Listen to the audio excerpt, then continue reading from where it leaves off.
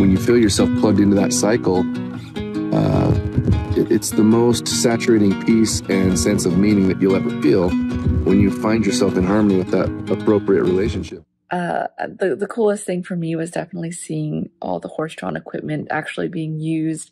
And I felt like not only did I learn the process, I learned about this family in itself and about the event and how it all relates to the community. They give the education that they give the information of why they're choosing to do it this way, why they're committing to doing it this way. Um, I never thought about hay or grass like this.